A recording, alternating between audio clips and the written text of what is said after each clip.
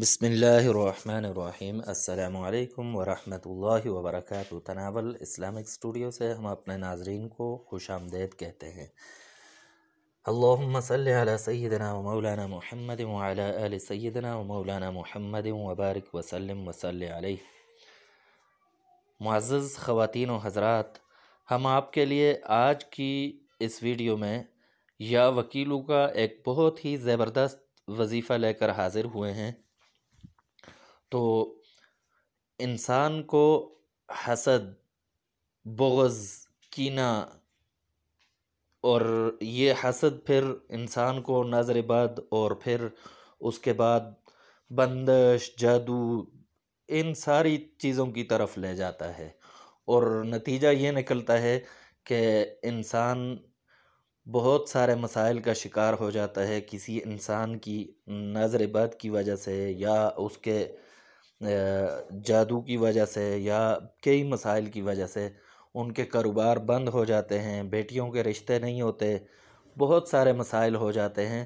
تو آج ہم جو وظیفہ لے کر آئے ہیں، وہ ان تمام چیزوں کا توڑ ہے۔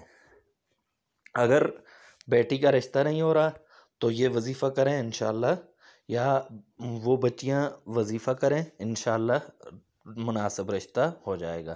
اگر کاروبار نظر بد کا شکار ہے یا کسی مسائل کا شکار ہے کاروبار آپ کا، تو یہ وظیفہ کریں، کاروبار ترقی کرے گا۔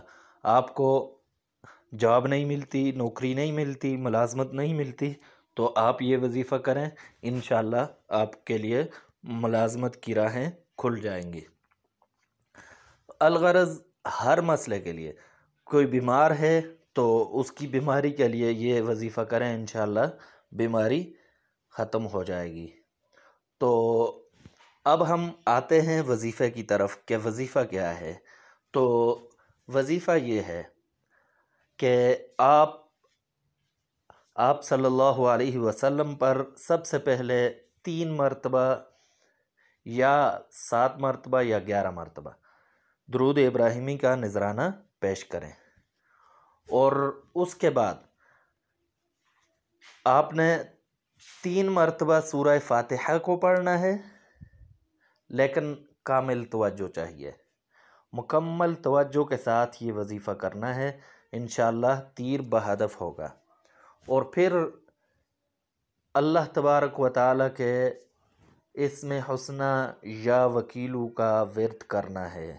لیکن کس طرح کرنا ہے، تنہائی میں کرنا ہے اور ایسے کرنا ہے جیسے آپ اللہ تبارک و تعالیٰ کو اور اللہ تبارک و تعالیٰ آپ کو آمنے سامنے دیکھ رہے ہیں۔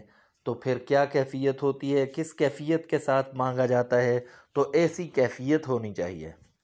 اور آپ نے ایک ہزار مرتبہ یا وکیلو کو اس طرح پڑھنا ہے، ہر مرتبہ آپ کے دل سے نکلنی چاہیے آواز، زبان سے نہیں، دل سے نکلنی چاہیے۔ اور پھر اس کے بعد آپ نے اتنی ہی مرتبہ یعنی تین مرتبہ یا سات یا گیارہ مرتبہ درود ابراہیمی پڑھنا ہے۔ جتنا زیادہ پڑھیں گے، اتنا زیادہ بہتر ہوگا۔ تو اس کے بعد اپنے مقصد کے لیے ہاتھ اٹھائیں اور اللہ تبارک و تعالی سے رو کر مانگیں۔ اگر رونا نہیں آتا تو رونے کا منہ بنا کر اللہ تبارک و تعالی سے اپنے مقصد کو مانگیں۔ انشاءاللہ ضرور آپ کا مقصد حل ہوگا۔ وما علینا الا البلاغ Hey there. Subscribe to my channel. And also press this bell icon.